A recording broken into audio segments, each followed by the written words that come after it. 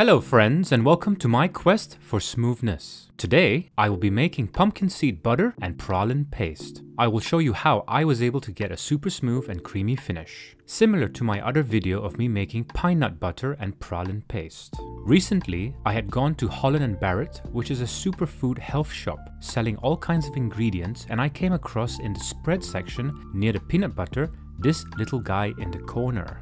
I was naturally very curious and so I bought one jar. This is made with 100% organic roasted pumpkin seeds. Let's open this up, and because it has been in the store shelf, give this a stir due to the separation.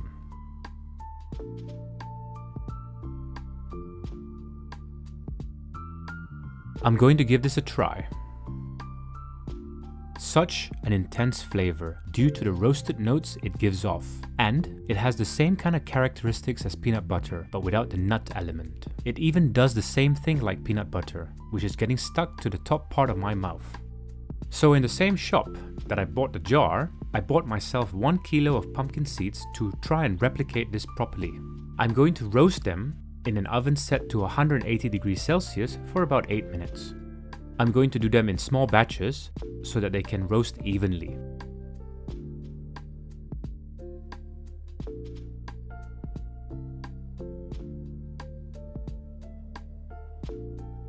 Once they have become nice and golden, or roasted in color, let them cool down.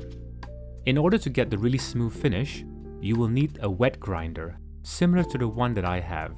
I bought this for secondhand from eBay. Here is some advice. Don't feel like you need to invest in brand new equipment in order to create something like this. Let's switch the machine on and now let the wheels do the work. Drop the seeds in one handful at a time. Let that process and then repeat until all of the seeds are in. The stone wheel will crush the seeds. In the middle of the stone wheels is a scraper arm. This will scrape the spinning drum so that the pumpkin seeds can be all crushed evenly. Once all of the pumpkin seeds are in, it will look something like this. We will need to let this keep going for at least 3 hours because we want it super super smooth. In the meantime while waiting, you can check out my other videos. After 3 hours, let's come back and check on the pumpkin seed butter. I'm pretty happy with the smoothness.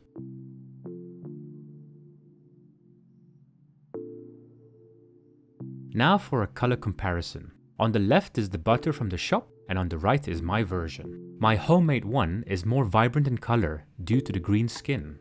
Now, like peanut butter, I prefer a little salt in this. I will be using some sea salt. You can either use plain sea salt or you can use some smoked sea salt. I'm going to grind the salt manually to get a finer powder. I would have used my wet grinder, but I still need what I have left behind in the grinder for something else and I didn't want to have the salt element in that. This part is totally optional and up to your taste and preference.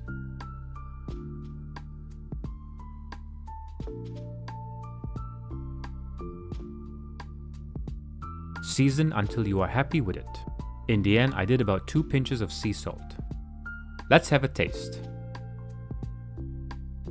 Boy, is that nice and punchy with a nutty finish. I'm pretty satisfied with this result.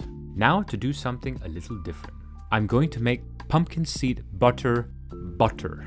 I figured, since this is rather savory, I think it would be delicious to make this with some bread rolls at the start of your lunch or dinner, rather than just being served plain butter. I have 250 grams of unsalted room temperature butter, and I'm going to mix in 100 grams of homemade pumpkin seed butter. Give that a good whisking. Have a taste. Also, give it a good seasoning. I had to add some more salt due to the fact that I've used unsalted butter.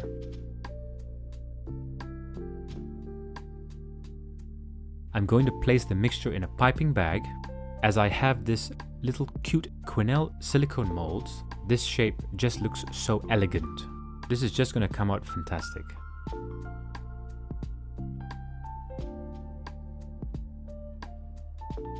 Fill each cavity with the butter.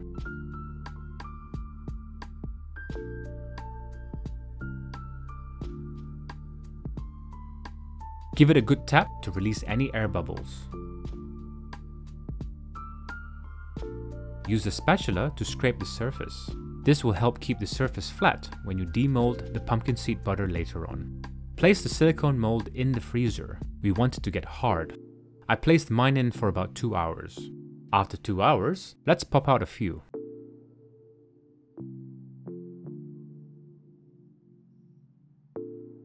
After you place it on a small plate, you can enjoy this in about 30 minutes time. I'm going to use my fine grater to grate some pumpkin seeds to give it a simple finish. There you go, serve that to your guests.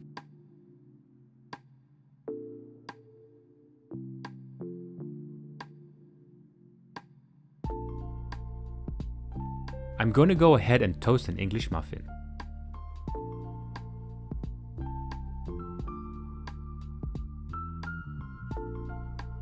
Damn, that spreads like butter. Forgive the pun.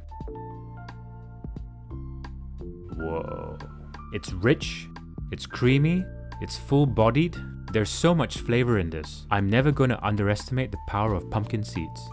Now for the other thing. So at the start, I took out 250 grams of pumpkin seed butter from the wet grinder. I'm going to make a wet caramel of 400 grams of caster sugar and just enough water to wet the sugar. Using a small pot, place the water in first. Bring the pot to the stove and we want the mixture to boil. We are looking for a temperature of between 165 to 175 degrees Celsius. I'm going to use an infrared thermometer to help me with this. You can use a probe thermometer, but that will involve having to wipe it down after. Slowly, in stages, the temperature is rising. There we go. It's currently at 167 degrees Celsius and I'm taking it off the heat now. The higher the temperature for a slightly more bitter caramel. If you like your caramels a little bit bitter, you can go around the 170 to 175 mark. Don't forget, caramel will still continue cooking. Cool the caramel in some baking paper and a baking tray. Be careful when you're spreading this as it is super hot. And just look at that nice amber color. Give it some time to allow it to cool and harden.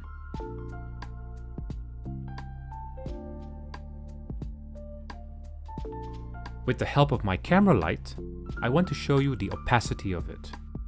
This is what I call perfect caramel, or in my case, perfect for what I need it for.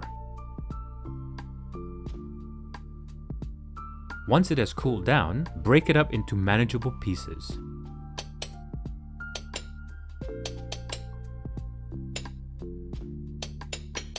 Run the wet grinder and drop the pieces in slowly. Let it process and repeat. In this rare occasion, Jessica has decided to join me in the kitchen.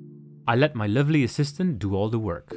It is rather mesmerizing watching the wet grinder spin and destroy the caramel. Now, because this is a sweet version, I'm going to complement it with some vanilla bean paste. This one is also to your preference. Adjust it at your will, but don't add too much, because we don't want to overpower the pumpkin seed flavor. And like before, let that go for about 3 hours.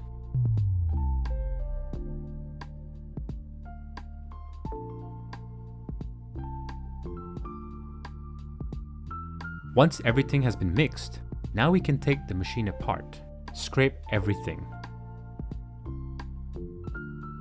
This next part is totally optional and only if you want to put in the effort. I have a nut milking bag or a muslin cloth. It's basically a fine mesh.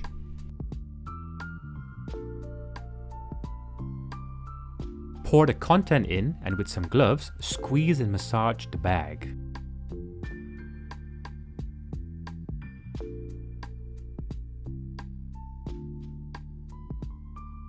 If you think that was super smooth already, using a nut bag is just having some insurance to really ensure it is super smooth.